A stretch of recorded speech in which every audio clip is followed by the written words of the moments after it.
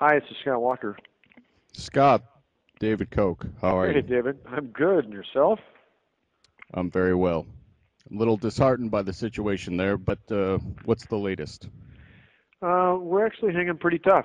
I mean, you know, this, uh, amazingly, there's a, a much smaller group of protesters, almost all of whom are in from other states today. Uh, the state assembly is taking the bill up, getting it all the way to the, the, the last point it can be at where it's unamendable. Uh, but but they're waiting to pass it till the Senate's in. But they're the Senate Demo- or excuse me, the Assembly Democrats uh, have about 100 amendments they're going through. The state Senate still has the 14 members missing, but what they're doing today is bringing up all sorts of other non-fiscal items, many of which are things that uh, members in the Democratic side care about. And each day we're going to ratchet it up a little bit. The Senate Majority Leader had a great plan. He, he told them about this morning.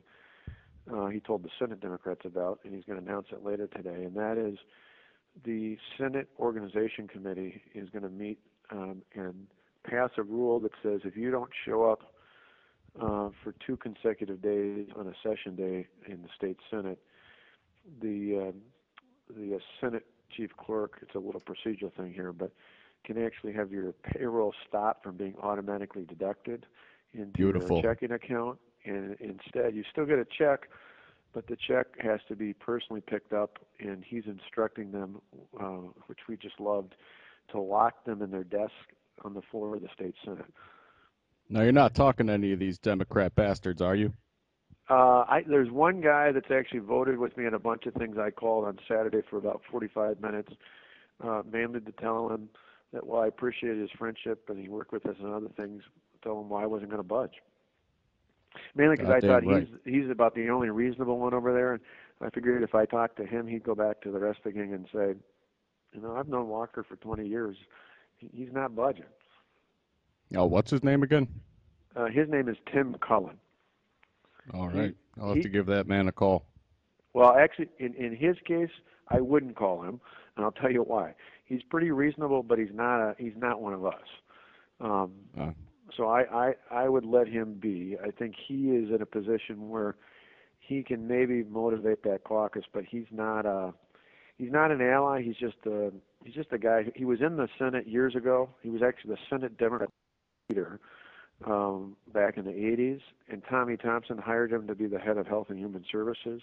He went into the private sector, made real money, and uh, uh, became a little more open-minded. And uh, last fall, he got elected to the Senate seat he was in 25 years ago.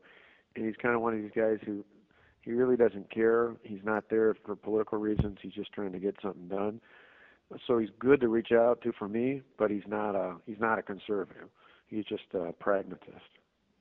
now, who who can we get to budge on this uh, collective bargaining? Well, I think in the end, uh, a couple of things are one, if the um, if the, um, the I think the paycheck will have an impact.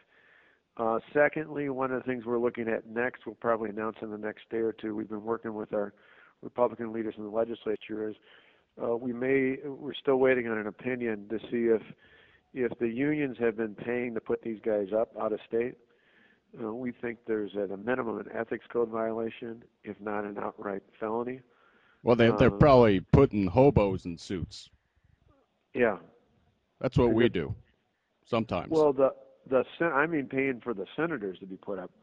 Uh, I know Oh. they're paying for these guys to be in. No, you can. I mean, people can pay protesters to come in. I mean, that's not an ethics code. But I mean, literally, if the unions are paying the 14 senators, if they're paying for their food, their lodging, anything like that, uh, we believe at a minimum it's an ethics code violation, and it may very well be a felony misconduct in office because, see, technically, it's not just a political contribution. It is if they're being paid to keep them from doing their job, we think that's an. Uh, um, I mean, there's legally an obstruction, not of justice, but a, an obstruction of their ability to do their job.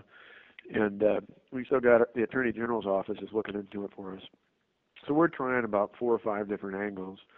Figuring each day we crank up a little bit more pressure. But the other thing is I've got layoff notices ready. Uh, we put out the at-risk notices. We'll announce Thursday Uh, they'll go out early next week, and we'll probably get five to six thousand state workers will get at-risk notices for layoffs. We might ratchet that up a little bit too. Beautiful, beautiful. Got to crush that union. Well, it's one of those where, in the end, you know, the the, the uh, and I've had not only Cullen, I talked to myself. I had three or four of my other uh, business leader friends who know him over the years, and and just kind of pass the message on to these guys.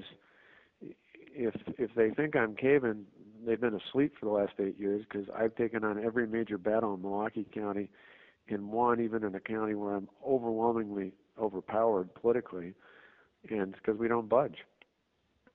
If you're doing the right, right. thing, you stay you stay firm. And in this case, you know, we say we'll, we'll wait it out. If they want to start sacrificing thousands of public workers who'll be laid off, sooner or later there, there's going to be pressure on these senators to come back. But We're not Beautiful. compromising. We're not going to.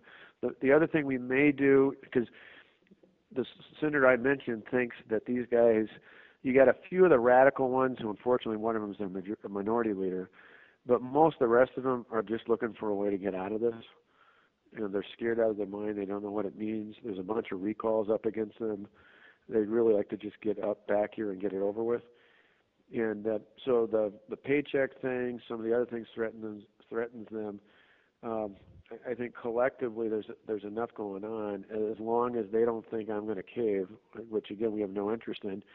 An interesting idea that was brought up to me this morning by my chief of staff, if we won't do it till tomorrow, is putting out an appeal to the uh, the Democrat leader that I would be willing to sit down and talk to him, the Assembly Democrat leader, plus the other two Republican leaders.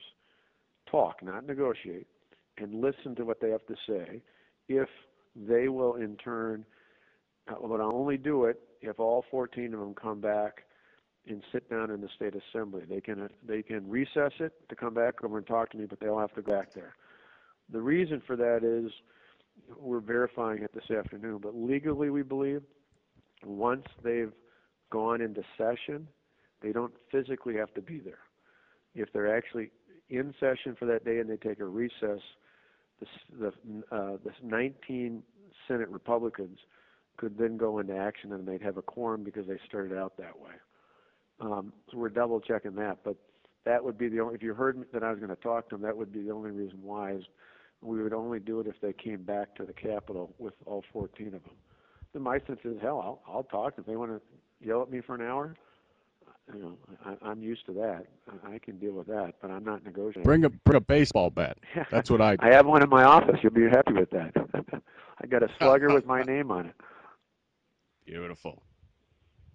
But in the end, this is, and, and, this is, it, it, and I've even pointed out last night because I'm trying to keep out the as many of the private unions as possible. Said this is about the budget. This is about public sector unions. Hell, even FDR got it. Um, there's no place uh, for the kind of, uh, I mean, you essentially are having taxpayers' money be used to pay to lobby for spending more of taxpayers' money. It's absolutely ridiculous. Beautiful. So it's uh, this is ground zero. There's no doubt about it. But uh, I, I think you know, for us, I just keep telling my. I call any. I, I tell the speaker and the Senate Majority Leader every night. Give me a list of people I need to call at home. Shore them up. Um, the New York Times, of all things, I don't normally tell people to read the New York Times, but the front page of the New York Times has got a great story. One of these unbelievable moments of true journalism, what is supposed to be objective journalism they got out of the capital and went down uh, one county south from the capital to Janesville, the Rock County. That's where the General Motors plant once was. Right, right. They, they moved out two years ago. The lead on this story is about a guy who was laid off two years ago. Uh, he's been laid off twice by GM, who points out that uh, everybody else in his town has had to sacrifice except for all these public employees. And it's about damn time they do, and he supports me. Um, and- and they had a bartender. They had, I mean, every stereotypical blue collar worker uh, type they interviewed, and the only ones that that weren't with us were people who were either a public employee or married to a public employee. It's an unbelievable story. So I went through and called